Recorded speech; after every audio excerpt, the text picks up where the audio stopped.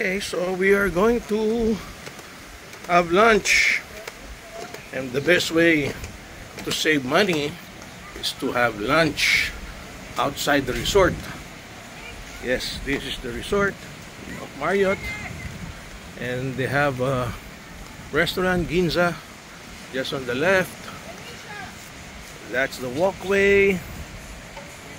That's the beach. And just outside, there's to be lots of restaurants. Ah, yan ang magandang restaurant. The Ginza restaurant. Pero syempre, you want to uh, save money and uh, have the best ambience. Diba?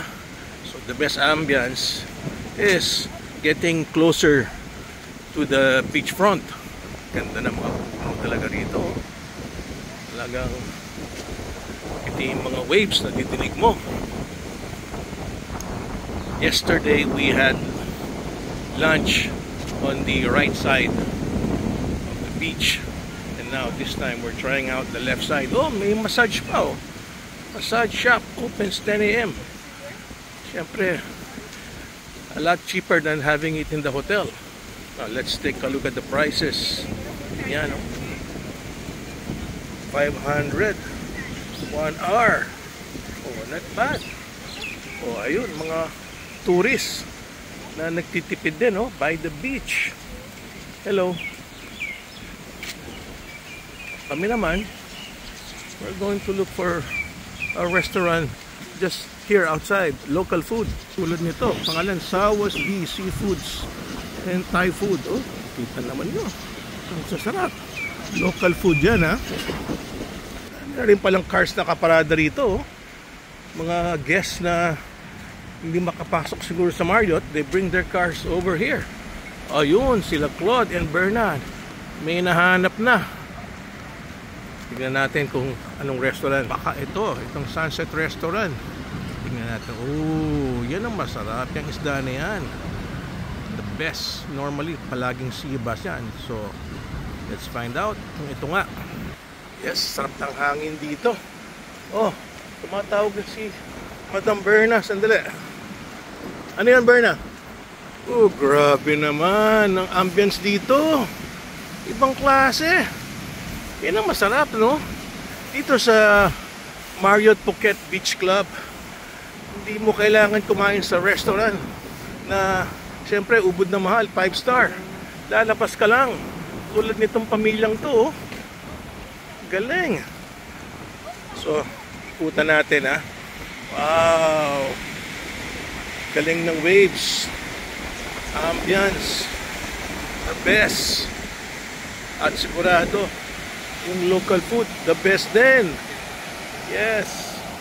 Oh, ayan oh, isang pamilya sila oh. Okay, punta na natin si Madam Berna. At siya'y tumatawag na. Very, very local. Kanya addicting talaga magpunta rito sa Marriott Phuket.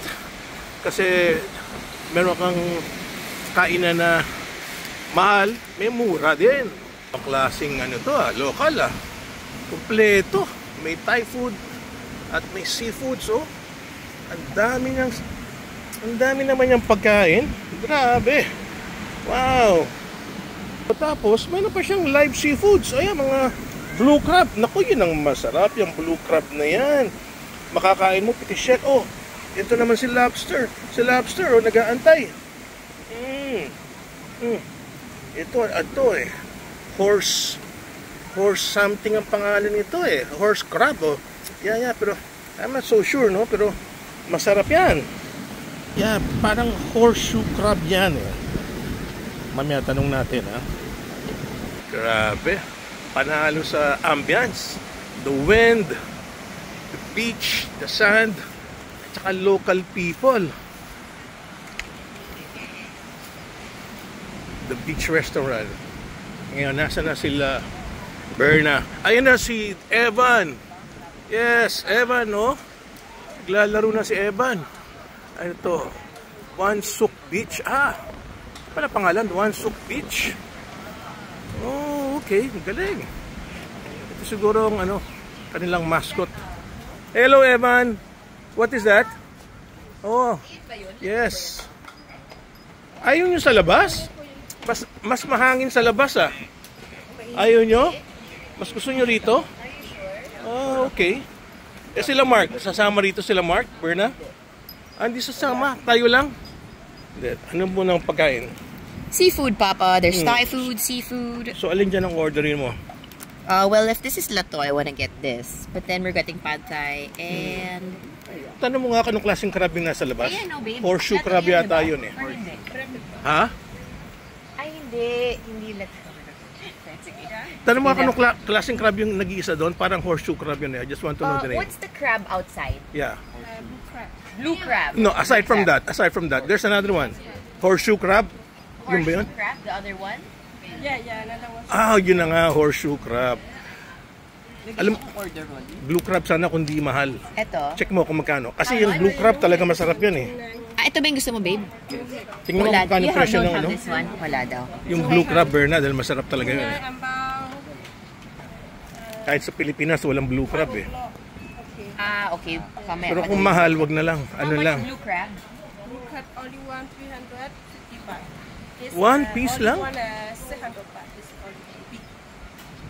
Ano sabi niya? How much is the 350 I baht? looking I have small blue crab. Small, Small. small 350 baht. Ah, This one big. malaki na 600. Ah, Okay, oh. may daw small, may isang big. May Ganon? mantis din sila, shrimp. Ah, mm. talaga, mantis? Wow, may mantis shrimp din. Galing. Sige, kayo nang bahalang mag-order, Berna. So wait lang, ano nang in-order ko, babe? Tingnan natin. Itong kanilang mascot, oh. Wow. Parang Santa Claus. Ikaw nang bahala kung anong gusto mo. Galing ng ambience, oh. Lalo na kung may batang pogi, oh. Ayan, oh. Si Evan. Naglalaro. Oh. Nako, chicken curry ulit. Yan ang mga mumurahing Thai food, eh. Okay, so habang nag-aantay sila ng pagkain, dito muna tayo sa may ah, beautiful ambience. Imagine ah. Galing ng ah, setup dito. Ito yata ang pangalan. The Beach Restaurant Thai Food. Open from 10.30 to 2100 p.m. So that's about 9 o'clock. Yes, enjoy na enjoy yung ah, family. Oh. Apat pala sila. Oh. Yan ang the best. Kahit sa hotel, walang ganyang ambience. Babayad ka pa ng mahal. Aba, ang dami palang restaurant. So, pinayagan na yung mga locals talaga magtayo dito ng mga ano, restaurant sa labas. Dati, bawal yan eh. Ayan yung family kanina. Ganyan kalakas yung hangin, no? Yes. Yun lang ang problema rito. Yung beach niya, hindi talaga siya swimmable. Bihirang bihira. Ang advantage lang. Dito nag, uh, naglelay ng uh, eggs yung mga yung kanilang mga leatherback turtles dito sa beach na to. Yes, malakas talaga. Yun lang ang problema, hindi tulad ng Boracay, swimmable. Ito talaga, wala ka nang magagawa. You just have to enjoy looking at it.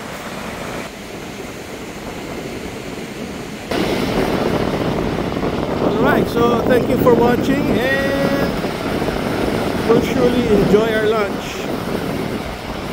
If you want this kind of ambience, come to Phuket here at the Marriott Beach Club. Bye, thank you for watching.